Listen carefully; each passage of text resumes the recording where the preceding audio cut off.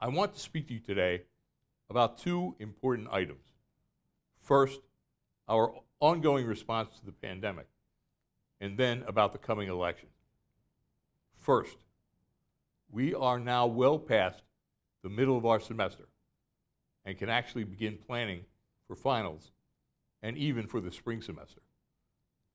I want to take this opportunity to thank you all for your sacrifice and your patience.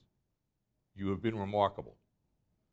We have only come this far because of your care for each other and your willingness to follow the requirements in our Royal Safe Together plan.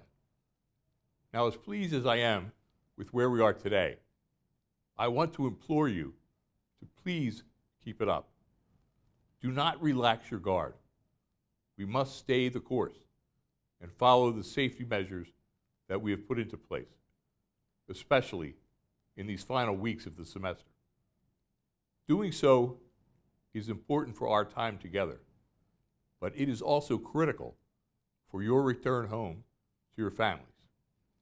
In the coming days, we will share some more detailed information about the end of the semester. Next, speaking about the election, few things I can recall in my lifetime has been as polarizing in the country as this upcoming election. This polarization carries with it a risk to something sacred here at the University of Scranton, our sense of community.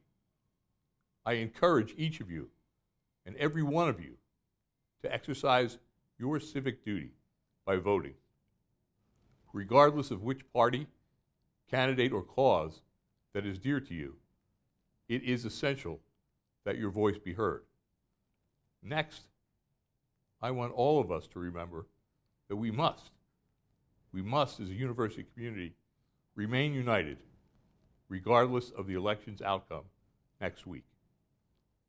The, the, our campus must always be a place where we can safely and without fear or malice discuss and even disagree. In that spirit, I want to end with two brief reflections on the Jesuits from our founding fathers. The first is from a letter from John Adams to Thomas Jefferson, reflecting on the influence of Jesuits on the United States. The Jesuits in the United States, Adams wrote, are more numerous than anybody know. Shall we not have swarms of them here, in every shape of printers, editors, writers, schoolmasters, etc.? Now, this is John Adams. If ever any congregation of men should merit eternal perdition on earth and in hell, it is this company of Jesus.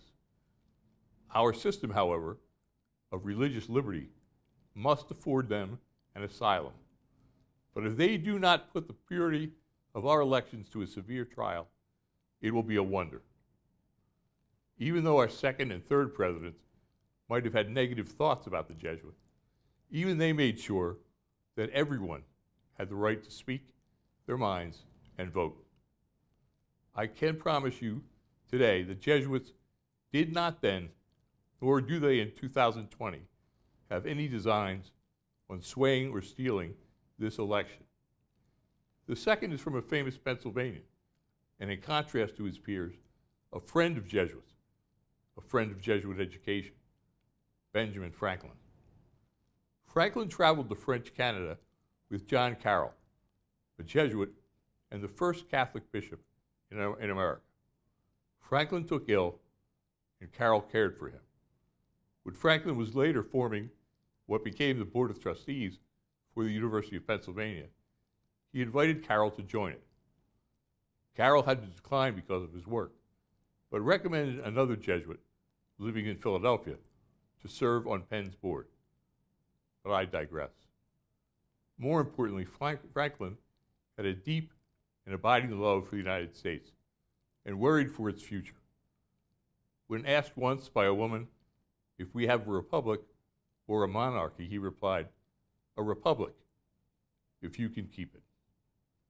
It is now up to us to keep our republic, to vote, to reason with one another, and always remain united as one nation under God. Thank you.